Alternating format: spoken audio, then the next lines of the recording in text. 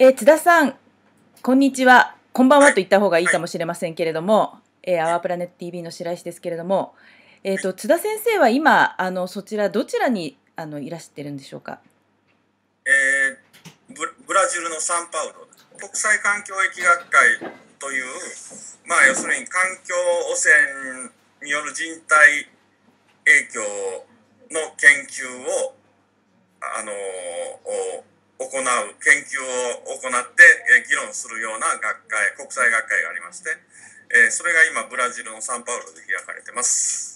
はい、まあ、そういうあのお忙しい中あのスカイプでつないでいただきましてありがとうございます。であの昨日ですね、えーまたあの福島県で県民健康調査の検討会が開かれましてであの津田先生もそちらの方のデータご覧いただいたかというふうに思います。ではい今回のデータはですねあの検査した方々のうち、えーまあ、新たにですね1巡目で、えーお一人の方が、まあ、あの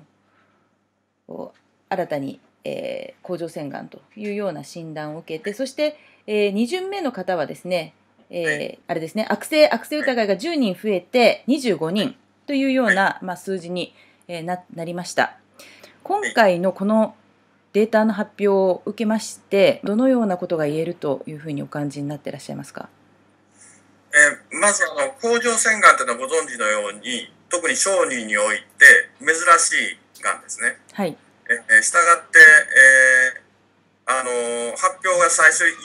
名出た時点でもう多発だったわけです。それがよ、えーっとお8人8名になって前回で15名になって今回25名になって、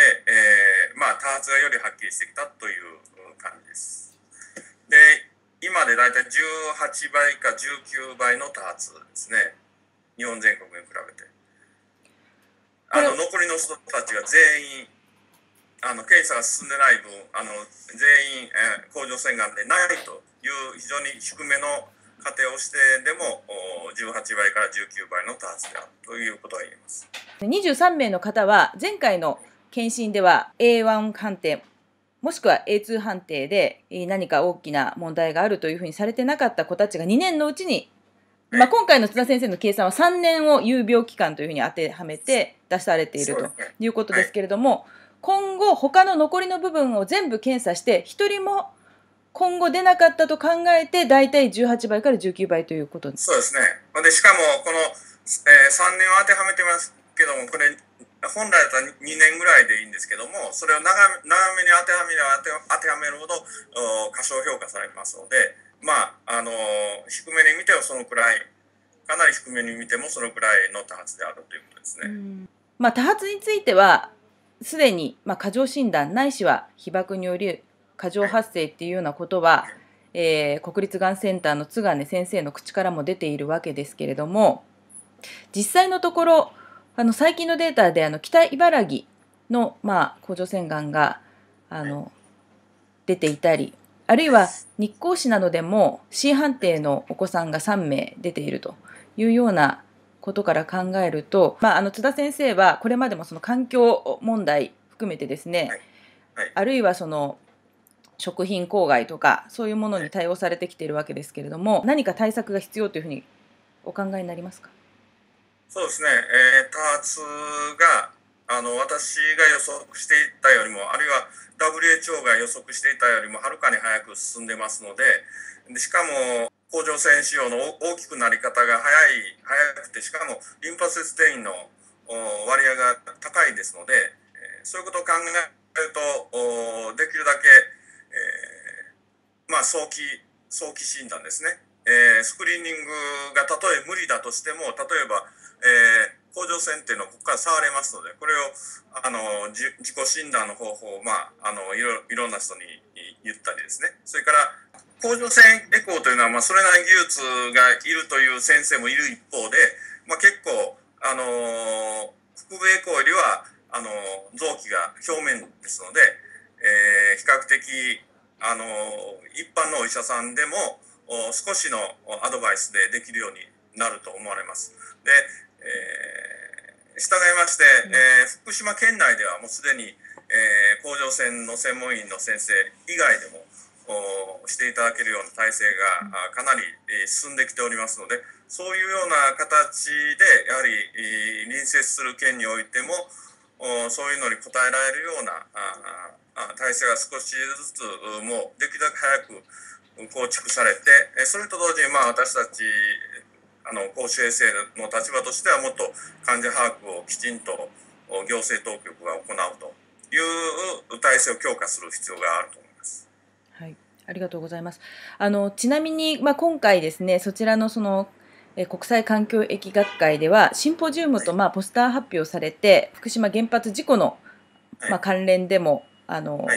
ご発表されたということなんですけどは内容とか反応とかすでに終えられたんですよね。はいそうですね。え内容はあの一つはあのえー前回の検討委員会で発表されたデータを疫学的に分析してそれを発表しました。甲状腺がんについてですね、はい、はい、まあこれはまああのまあこういう研究者の人たちは非常に関心が高いですので、まあ、非常に関心を持っていただけて。で日本人の研究者の方はそれほど、まあ、ちょうど地区の裏側ということであんまり参加されてないんですけども来られた方もご存じなかったようで、えー、その情報を非常に熱心に見ていただきました。うん、でもう一つのシンポジウムの方は、まあ、100ミリシービルト以下はがんは出ない。あるいは、えーえー、放射線によるがんが出たとしても言い方が日本で、えー、ルフされてますけどもそれはまあ明らかに医学的に間違いの情報ですのでそのことについて、まあ、あの参加者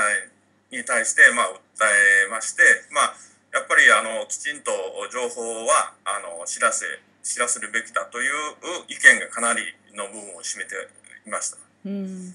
あの海外の疫学者の皆さんというのは、まあ、この甲状腺がんの問題あるいはその100ミリシーベルト以下は、まあ、その分からないとかあるいは、まあ、識別できないという理由で、まあ、大丈夫みたいな形のあのコメントが日本の中では多いわけですけどもそういう状況は、まあ、あのあまりご存じないかもしれないんですけど専門家としてどういうようなことをおっしゃっている方がいらっしゃいましたか？検診だけではダメだという感じですね。だから、検診自体は、まあ、あのずっと続けてもどんどん参加者は少なくなるし、まあ、続け、えー、コストもかかるしそういうような関係から検診だけに頼るんじゃなしに、えー、もっと積極的に疫学調査なりあるいはあがん登録システムなんかをきちんとやって症例をきちんと把握して、えー、大体どういう規模で何が起こっているのかをよく把握すべきだというのが、まあ、あの私たちの専門ではあの非常に見が体制は占めるわけですけども、まあ、そういう意見とか、まあ、やっぱりリスクコミュニケーションは、えー、住民の協力を得るために、えー、できるだけ、えー、ちゃんと話しなさい。まああのパターナリズムっていう言葉をご存知ですかね。えー、まあまあ言えば上から目線から、まあ、住民を指導するみたいな態度でリスクコミュニケーションやるんではなしにやっぱりあの